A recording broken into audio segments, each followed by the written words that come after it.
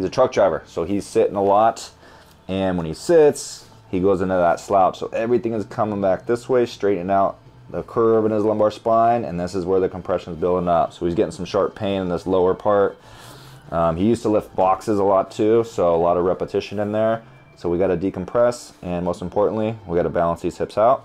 And we're just decompressing these lower discs in here using the table and gravity. So we open those guys up just like that.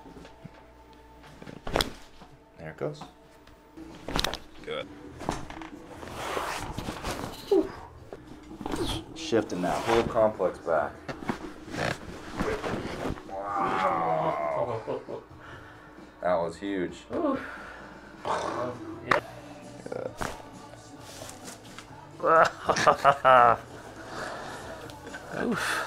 Drop your right shoulder a little bit.